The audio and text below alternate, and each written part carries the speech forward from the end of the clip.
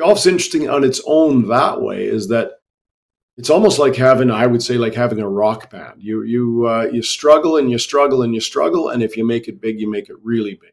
Uh, and and but most it's very difficult. Uh, very few people make it to the top, um, and the people that do, I certainly have a lot of respect for the the male PGA players and the female LPGA players are the best of the best in a really difficult pursuit. But uh, my benefit was that I got to see mini tour players, like smaller tour players. We actually have a Canadian tour as well, um, which is a very difficult tour to make it onto as well.